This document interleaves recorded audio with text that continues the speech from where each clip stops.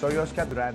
Muy joven llegué a Arauca, tierra que me adoptó. Empecé como mensajero en la farmacia de mi tío y soñaba con ser empresario. Lo logré con esfuerzo y dedicación. Ahora quiero que juntos e independientes hagamos de Arauca un municipio próspero, sin más excusas ni politiquería.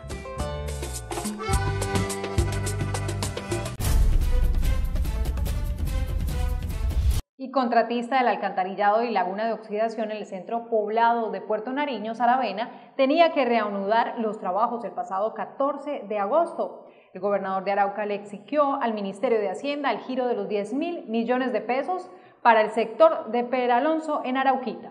El gobernador del departamento de Arauca aseguró que el pasado 14 de agosto el contratista del contrato del alcantarillado del centro poblado de Puerto Nariño en Saravena tenía que haber reanudado los trabajos. Yo me reuní la semana pasada con el contratista y quedaron de que el 14 debía reiniciarse. De agosto. De agosto. Eh, me reuní con ellos para ver qué era lo que pasaba y me dicen que arrancaron. Si me dicen que no arrancaron, era una circunstancia que voy a, voy a averiguarlo, porque el compromiso es que se tiene que entregar y tienen que entregarlo sobre ese lado. Pero si no, me, me, me, como digo, yo me reuní con ellos y, y entonces tendría, me estarían engañando.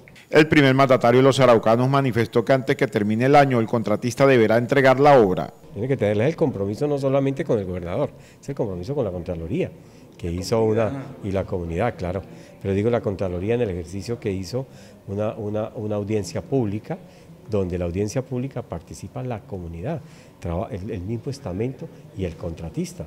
Y hay un ejercicio porque no es por falta de, plata, porque la plata la tienen ellos, ¿sí? porque eso es una, una fiducia, por lo tanto ni siquiera depende que yo se la asigne, sino que eso tiene garantizado un flujo que tienen que ser respondidos de acuerdo a la ejecución de la obra.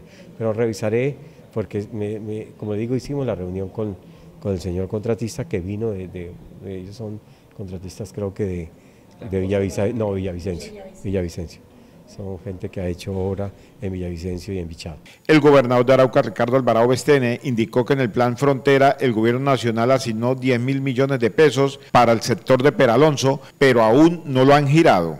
Mira, hay, hay una preocupación. El gobierno nacional en el plan Fronteras ofreció los 10 mil millones de pesos.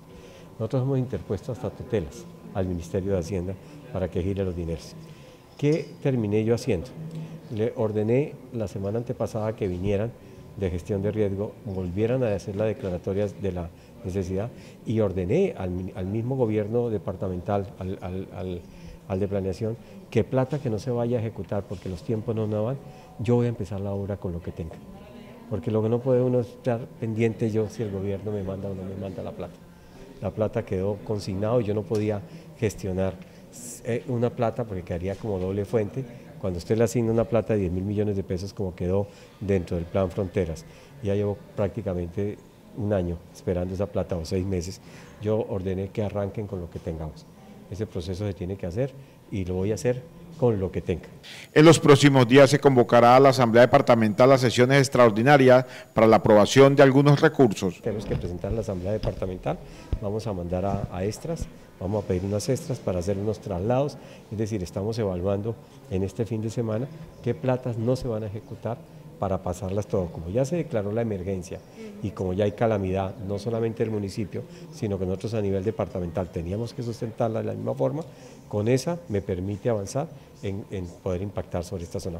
Porque eso no es un problema solamente de, de tapar el hueco, es simplemente que hay una, una fuerza y una hidrodinamia del río que termina tarde o temprano rompiendo. Usted termina haciendo un esfuerzo ahí y finalmente va a terminar más adelante rompiendo. Los trabajos en el sector de Peralonso ya no costarán 10 mil millones de pesos, sino que se aumentó a 14 mil millones de pesos. Vale 14 mil.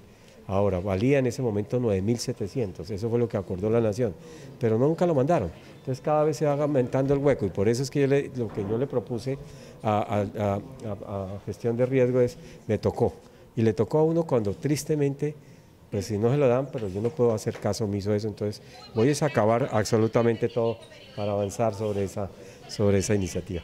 La administración municipal entutelará al Ministerio de Hacienda para que gire los 10 mil millones de pesos que fueron asignados desde principio de año.